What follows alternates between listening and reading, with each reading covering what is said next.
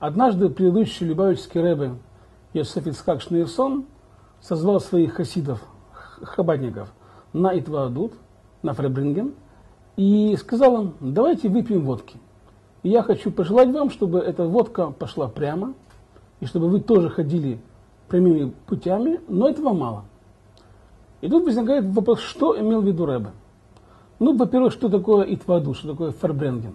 Это собрание хасидов, которые собираются все вместе и слушают слова Торы, которые им говорит или Рэбе, или их местный раввин. Но отличие Хабада от всех остальных движений хасидских в том, что Хабад это русское движение. И хабадники понимают толк не только в словах Торы, но и в водке. Они умеют соединить возвышенное и земное. И поэтому на их фарбрингенах пьют водку. И Рэбе сказал им, давайте мы выпьем водку. Но что он имел в виду по словам прямо?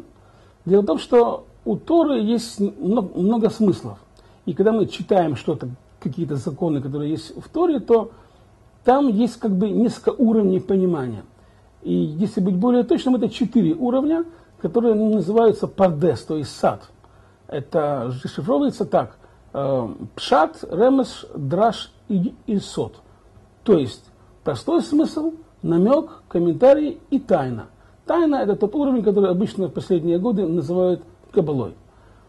Так вот, когда человек выполняет все по простому смыслу, и это сказал Рэбе, то это как бы минимум, который от него э, необходим. Ну, что такое по простому смыслу? Сказано нам «не убей». Мы понимаем, что взять нож и всадить кому-то в сердце нельзя. Но жизнь она ведь не черно-белая, она цветная, она как спектр – Поэтому убить-то ножом это нельзя, мы все понимаем. А как насчет аборта? Или, скажем, сказано в Торе «не укради».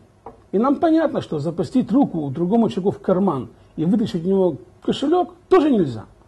Ну а как быть, если мы кому-то ставим подножку, мы этого человека не любим, мы не даем ему продвинуться вперед в своей карьере, и мы тем самым не даем ему больше денег заработать. Это ведь тоже получается как воровство. И вот именно это то, что имел в виду Любавичский Рэбе, что да, конечно, по простому смыслу это необходимо, но нужно нам жить более сложно, поскольку э, жизнь более сложная, и понимать, как нам себя вести в этих комплексных ситуациях.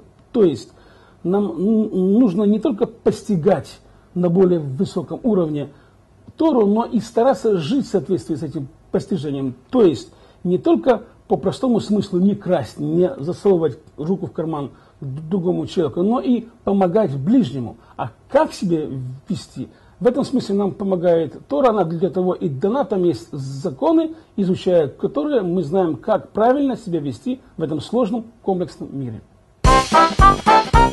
Oh,